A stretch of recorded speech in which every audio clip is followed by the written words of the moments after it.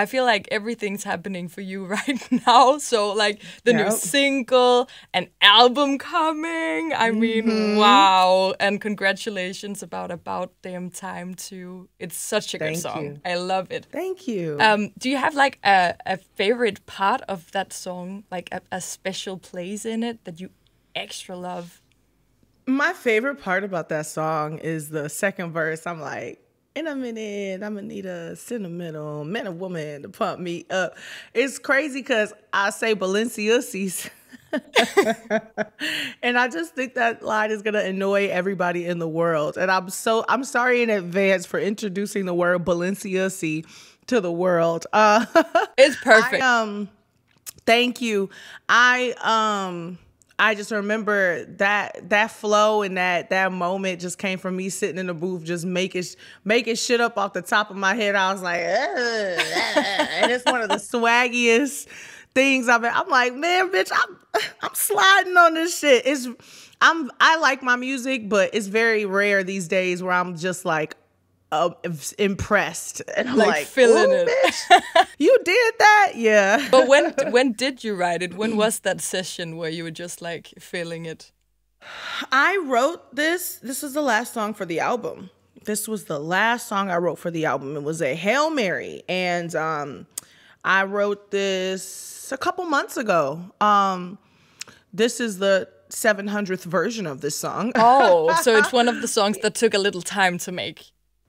I re- rewrote, I wish I could show you my notes in my phone. I rewrote this song so many times because it was important to me to create a song that was so uh, it had to be perfect in order to be celebratory but also have that energy of the way everyone feels right now like it's also it's almost like we're like i'm i'm i'm nervous but can I celebrate today? Is today, you know what I'm saying? Can I celebrate right now? Is right now a good moment? Because you never know. At any moment, something could happen. And it's like, that's why you have to just take that, take the time to be present and say, hey, right now, I'm going to celebrate. I feel like I'm going to be okay. I feel like I'm going to be all right. And it's about damn time I felt that way. I love that. I really do. But is it then like, uh, the corona that you're rising from? Because it feels like a song where you're like okay now i'm rising up. I know you you say we've been through a lot but i'm still flirty. I mean you have like this energy uh, about the song. first of all i haven't heard somebody call it corona in a long time. Um the og pandemic. Um it's not just about it's not a post-pandemic song really. It's just like the 2020s you know? Um i feel like we collectively have experienced a lot together whether it has been um trauma or triumph. We as a global community can all say we've been through a lot and I think that that's a rare time in human history where we have the capabilities to communicate on a global level because of social media, et cetera, et cetera, and to be going through something as, um, you know, traumatic as a pandemic, amongst other things, you know, what's going on with the world, our climate, our social climate, you know, um, so I think this song is pretty universal and you could sing this anytime in your life and it will still make sense. Yeah. Um, Lizzo, I saw that you were on James Corden and you mentioned like very briefly that your mom was a Virgo. Do you like care a lot about zodiac signs? So I've been, I, yeah, I've been privy, you know, astrology is super trendy now, but you know, I grew up knowing, oh, my mom's a Virgo, my dad's a Libra, I'm a Taurus, my brothers were the fixed signs of the zodiac.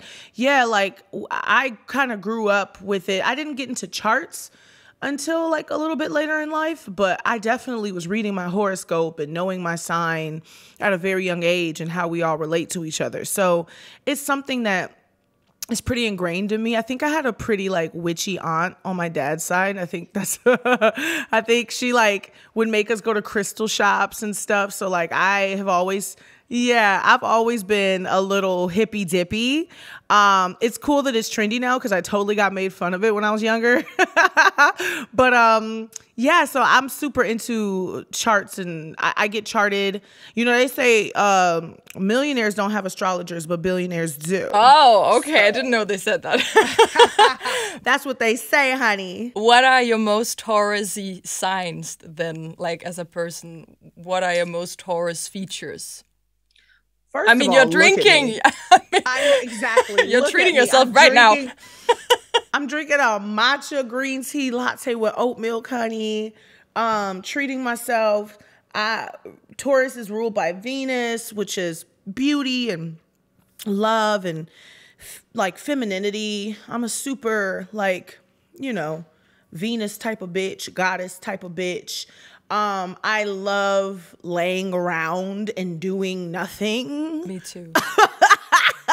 Which is a very earth sign thing. Yeah, you got the cheekbones of an earth sign. I don't oh, know what thank you are. you. I'm a Leo. But you Oh, you're a fire sign. What's your rising though? Oh, it's a it's a Leo too. Actually, I'm a double Leo. You're Leo rising. Yes. Oh my god, I'm a Leo rising. Oh really? Oh, of course you're a Leo yeah. rising. Of course. Yeah. you know us Leo risings. We're always celebrities. What's your moon? Uh, that's a Taurus.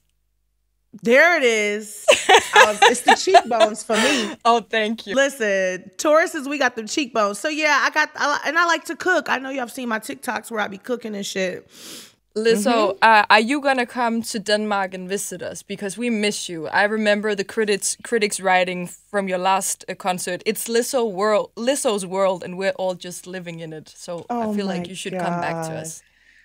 Listen, I cannot freaking wait until I am back on tour and on the road and seeing you guys and uh, safely just having fun. Like, I feel like people need to hear this music in person so badly, as much as I need to perform it in person with y'all. So I'll be there very freaking soon, Denmark. Don't you freaking worry. Thank you. And hopefully, with the new album, we can't wait. Mm hmm. Oh, yeah. It'll be there. It's coming. It's done. It was so nice meeting you.